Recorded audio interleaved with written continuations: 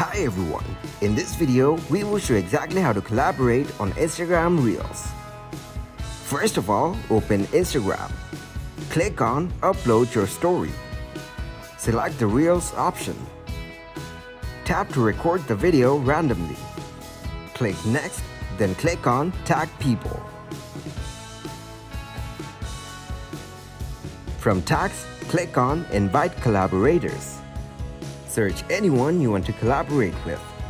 Then click to post the reel. Now the reel is uploaded. Then you can see the reel is uploaded with collaboration. Thanks for watching and please leave a like, subscribe and share.